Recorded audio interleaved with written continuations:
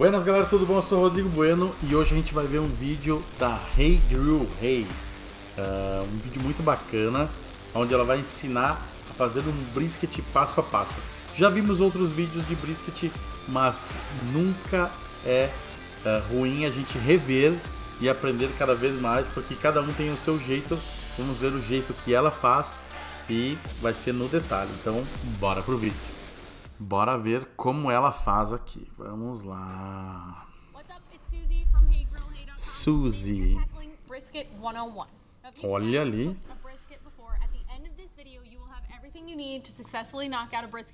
Ó, se você nunca fez um brisket na vida, no final desse vídeo você vai ter todas as ferramentas para fazer um. Como fazer, como cortar, como temperar, como tudo without worrying about all of the overwhelm and intimidation that sometimes comes from cooking a piece of meat like this. Não. Então ela vai fazer da melhor maneira possível para que você não fique intimidado. Né? notoriety through the Central Texas style of cooking brisket, which is what we're going to imitate today. A brisket comes from the Ela vai no estilo Central Texas. Packer brisket like this, which is what you're going to want to buy, consists of two overlapping muscles.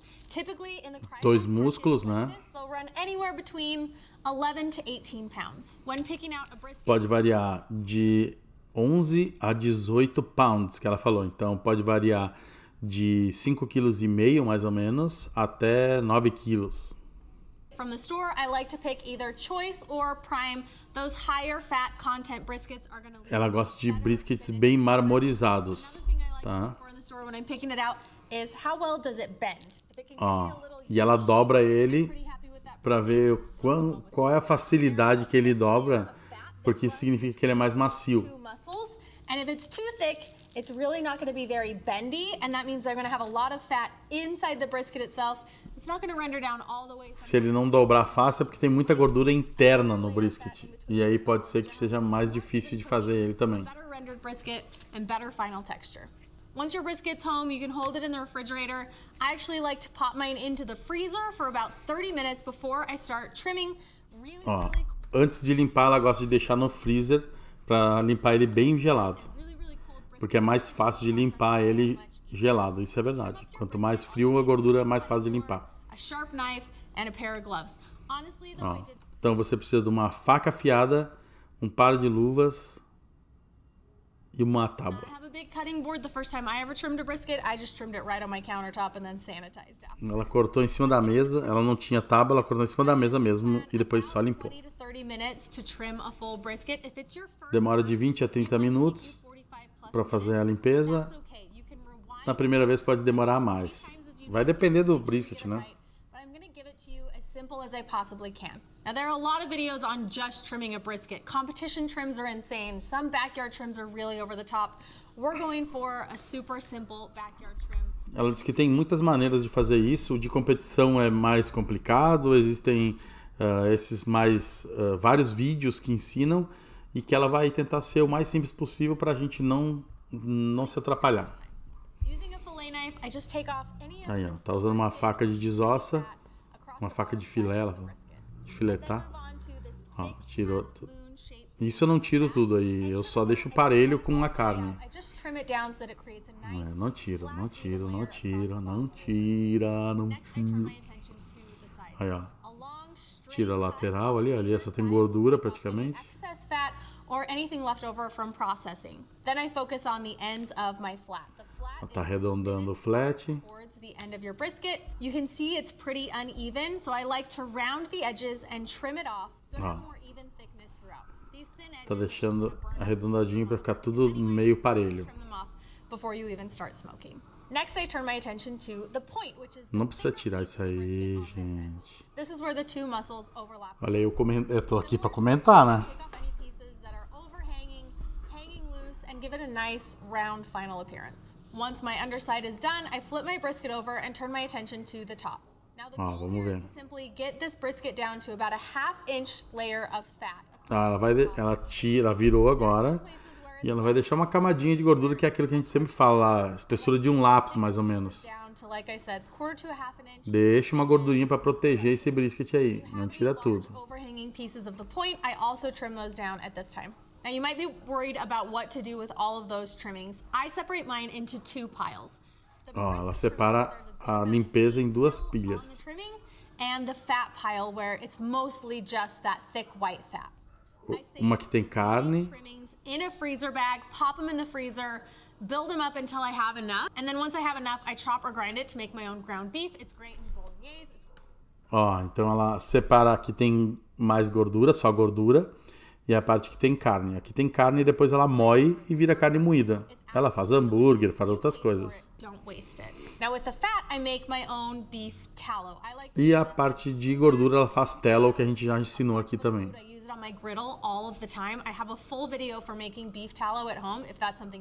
E aí, ó. Faz uma gordurinha boa. Eu não uso, mas pode usar. Slather. Ela gosta de passar. Coarse kosher salt and coarse black pepper. Ó, tá passando sal pimenta do reino. You need to season the brisket. The mustard acts as a binder. It also helps create Melequeira. that texture on the outside for the smoke particles to cling to while it's cooking. I think it gives you a really nice, dark, beautiful, crunchy bark. But you don't actually taste the mustard flavor at all. If you are Ela falou que não sente o sabor da mostarda, mas ajuda a dar um barquezão bonito. Now that the brisket is trimmed, slathered, and seasoned, it's time to hit the smoker. I like yeah. to trim my briskets at 225 degrees Fahrenheit. Ó, ela trabalha a 225 Fahrenheit, que o editor vai colocar aí. Ela falou que é um. Ela usa um pellet grill, que é um, um, um ótimo equipamento para quem tá começando realmente, não precisa controlar nada, né? Só dar play e se divertir. Comes from the bottom. I'm going to put this guy on fat side up to start, and then I'll show you in the next step. I'm going to flip it fat side down. Ela falou que o calor desse equipamento vem de baixo, então ela vai colocar a carne para baixo primeiro e depois, durante o processo, ela vai virar. Essa é uma particularidade desse tipo de equipamento que ela está trabalhando. Aí ela quer ter um cozimento uniforme. E ela tá usando cereja e carvalho, os briquetezinhos lá, os não é briquetes, se chama pellets. So choose a wood that complements beef. Like I said, oak and cherry are my picks. U- Use uma, uma lenha que você gosta e que complementa a carne de bovina. Eu digo assim, use o que você tiver que seja bom. pra- best estimation, and then I'm going to tell you add on two hours just to be safe. I usually plan about 90 minutes per Ela tá falando aqui que ela. Isso é uma coisa que a gente faz sempre, que é assim. Mais ou menos calcule o tempo que vai demorar, né? Tente calcular o tempo e deixe duas horas a mais do que o tempo que você calculou. Para qualquer eventualidade que possa acontecer. That's trimmed weight. So if you trim your brisket from 15 pounds down to about 12, you plan 90 minutes per pound. Your total cook time is going to come in around 18 hours. Now, your brisket might or could possibly or will likely be done before that, but that is okay because we're going to Bom, cook time is down to about Eu vou falar aqui o que ela tá dizendo, mas eu não gosto disso, tá? Ela tá calculando uma estimativa de tempo pelo tamanho do brisket. plan 90 minutes per pound. 90 minutos. Será que é 90? Agora, deixa eu ver. Eu vou ter que botar a legenda porque eu não tô entendendo ali. 90 minutos a cada 500 gramas. 90 minutos a cada 500 gramas. Não gosto desse cálculo. Your total cook time is going to come in around 18 hours. Ela tá dizendo que o tempo total vai dar 18 horas mais ou menos. Ele provavelmente vai ficar pronto antes, mas con- considere essas 18 horas, ela tá dizendo. Esse cálculo aí, galera, ah, não. For 225, close the lid. Let it Tá fora.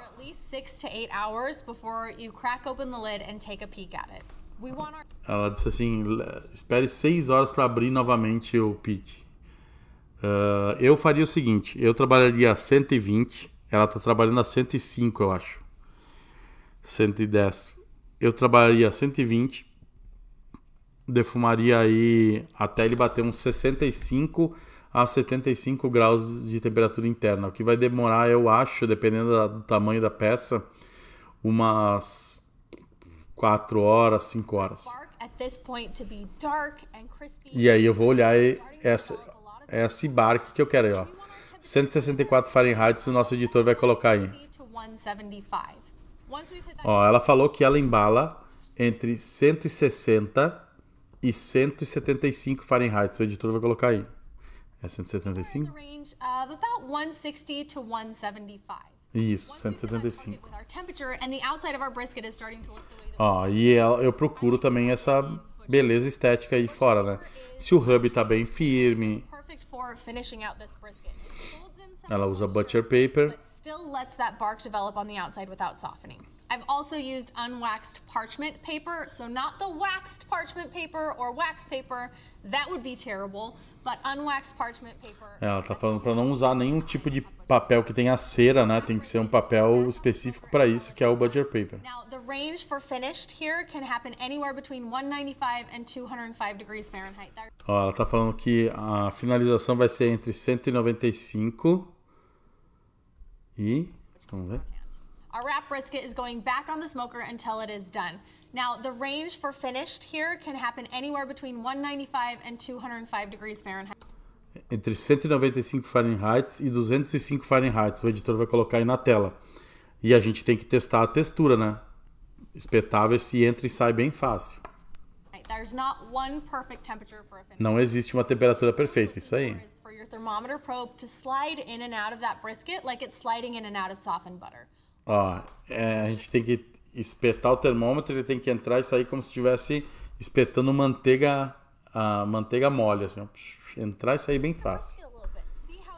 Ó, o dela deu 201 Fahrenheit. Your brisket's gonna be nice and tender. At this point, it's time to pull your 204 ali, ó. I like to pull it off 205. and let it rest at room temperature for at least an hour before É, deixa em temperatura ambiente descansando por pelo menos. Uma hora, ela falou. Because if your brisket cook runs long, you've given yourself a grace period. If your brisket comes in on time or even a little bit short, you can extend the resting period for É, isso que ela falou ali. Por isso que é bom ter aquela hora de sobra, porque aí você pode deixar descansar mais e você tem tempo para descansar. Ou vai, né? ah, se acontecer alguma coisa no processo, você tem tempo para se precaver e não ficar, não ter que fazer correndo. Né? It's really forgiving here at the end. If you do have to rest for more than an hour, what I recommend is wrapping your brisket in a towel. Don't use your favorite, you know, bathroom towel. Ó, se você precisa descansar por mais de uma hora, ela com em temperatura ambiente, ela tá falando isso. Ela disse para você enrolar em uma toalha e não use a sua melhor toalha. Use uma toalha que não usa mais. Senão ela vai ficar fedendo a brisket o resto da vida. that is now your barbecue towel. Wrap it up in the towel, pop it into a cooler Ó, em um, uma, uma caixa térmica 170 and then turned off. e deixe até bater o, um, o 170 Let your Fahrenheit. It can hold this way for anywhere between four and six hours. I've even held them up to eight hours if it's been a really long rest time. I actually think the longer the rest, Pode deixar aí até de 4 a 8 horas, que foi o, tempo mais longo que ela já deixou. De quick 3 a 4 horas é o ideal. Trim, slather, and season at night about 9:30 to Ó, então ela vai ah, limpar, e, ah, passar o, o binder e temperar à noite. 10 o'clock.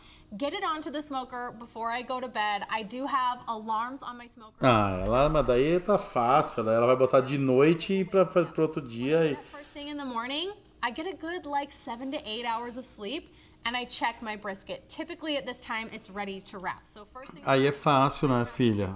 Pellet smoker vai deixar direto. do- Close the lid, keep an eye on the temperature. It's usually finished somewhere in the early afternoon. And at that point, I can let it rest for quite a long time until we're ready to eat dinner. Okay, our brisket. Então ela, ela começa de noite, deixa durante a noite toda defumando, embala de manhã, All of the time that you deixa descansar durante o dia e come durante a noite. Então ela leva quase 24 horas para fazer um brisket. My gosh, Tá bonito, hein? look at that. That is a juicy brisket. Ó. I'm gonna save these juices. I'm actually gonna drizzle them on after I'm done slicing. You can see how much this brisket shrinks down. O brisket diminuiu, ela falou. Ele vai diminuir, faz parte do processo. Até 50, 60% pode diminuir. O, pon, o point e o flat.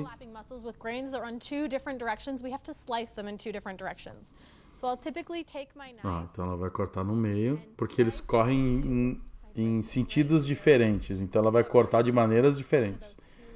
Ó, tá bonitão, hein? Olha ali, ó, dá pra ver, ó, dá pra ver aqui, ó. Dá pra ver bem ali no meio aqui, assim, ó. O pedido de like.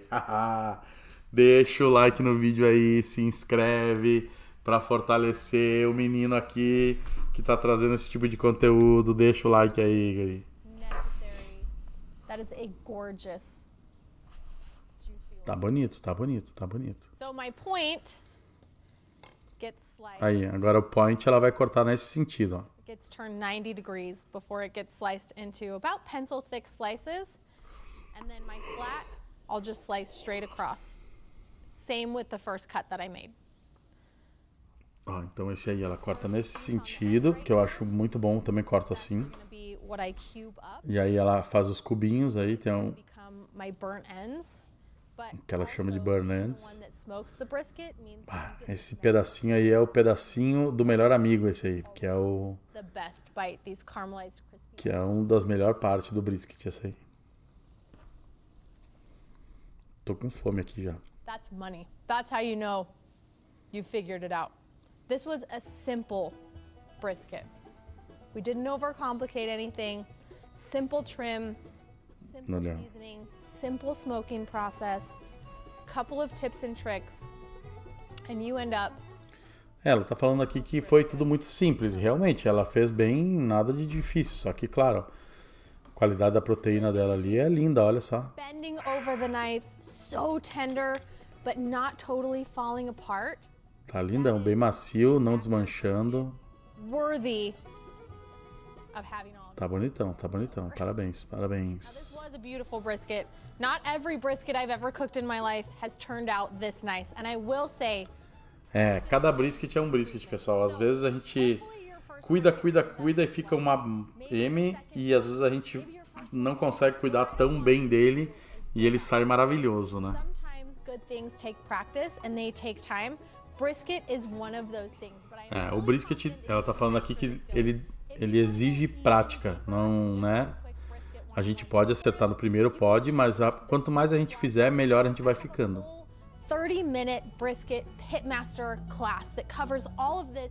Ah, agora ela tá vendendo a aulinha dela aqui, vamos ver. Mas aqui acho que ela terminou, ó. E o flat ela faz nesse sentido aqui que é contra a fibra, about brisket, uh, or if you have any other ways you cook brisket at home, leave a comment in the comment section below. Essa faca aí não tá boa, filha. Tem que ter uma faquinha da Tramontina pra cortar brisket que é melhor. Bom, galera, fez um brisket que ficou ó, maravilhoso. Ah, usou uma proteína incrível, tava muito lindo, muito perfeito. Ah, deu pra gente pegar aí o passo a passo, todas as temperaturas na hora de embalar, o que olhar na hora de embalar. Ela usou o butcher paper, a gente pode usar butcher paper, pode usar papel alumínio, vai ter vantagens e desvantagens. A gente já falou isso aqui, pode falar num outro vídeo só sobre isso. Espero que tenham gostado. Deixa o like, se inscreve, deixa um comentário aí se você gostou. Ajuda eu saber se eu tô no caminho certo. Tamo junto. Vamos lá. Até o próximo. E um abraço. Valeu. Tamo junto, galera.